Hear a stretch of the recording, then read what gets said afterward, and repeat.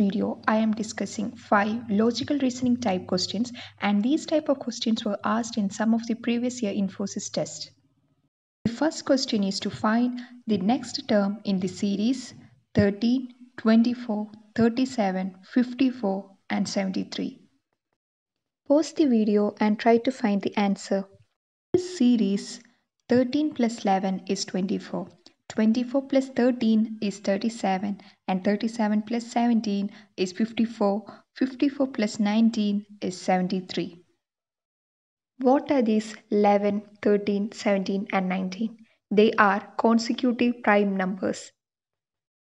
So what they are doing in this series is that they are adding consecutive prime numbers from 11 to the consecutive numbers in this series.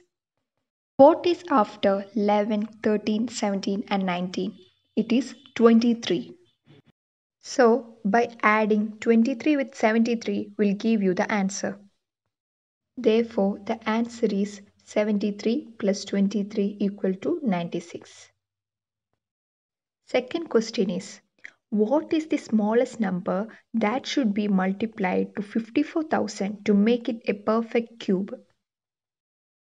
First, we can see what is a perfect cube. A perfect cube is an integer that is equal to some other integer raised to the third power.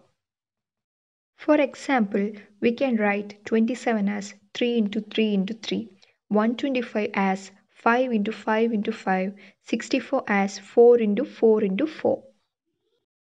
The number given in this question is 54,000 can be written as 2 into 27 into 10 into 10 into 10.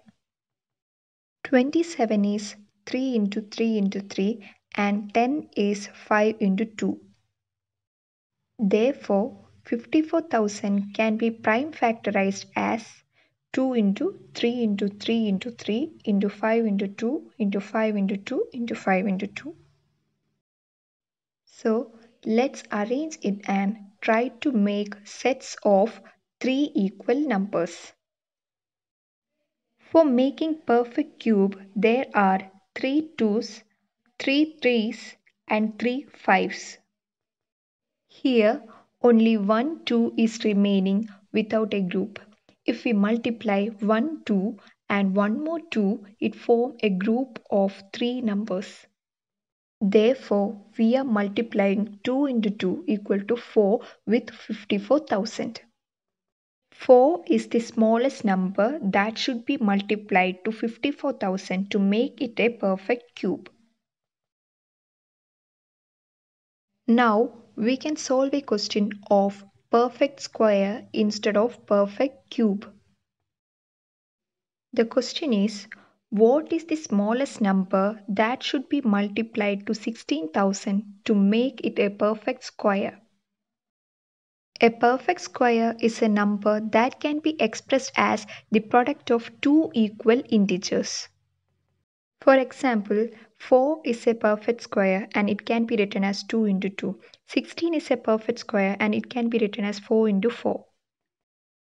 Here, the number given is 16,000. It can be written as 4 into 4 into 10 into 10 into 10. 4 can be written as 2 into 2 and 10 can be written as 2 into 5.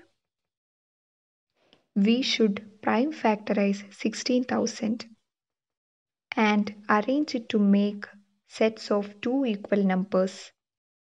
Here we are left with a single 2 and a single 5. If we multiply with a 2 and 5, we get a pair each. To make 16,000 a perfect square, we have to multiply it with 2 into 5 equal to 10.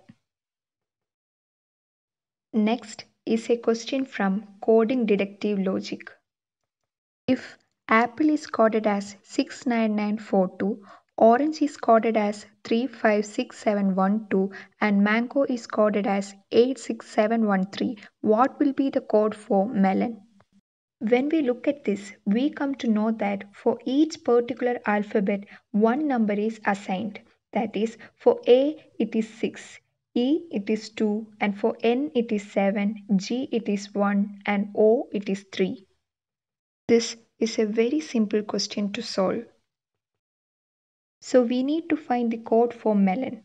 The answer is for M it is 8, for E it is 2, for L it is 4, O it is 3, N it is 7. The answer is 82437.